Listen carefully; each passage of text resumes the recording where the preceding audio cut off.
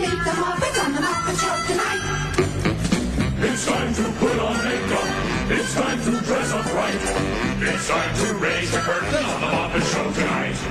Why do we always come here? I guess we'll never know.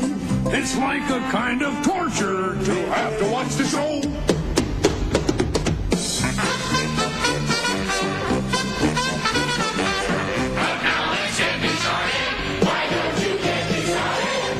Time to get things started on the most sensational, inspirational, celebrational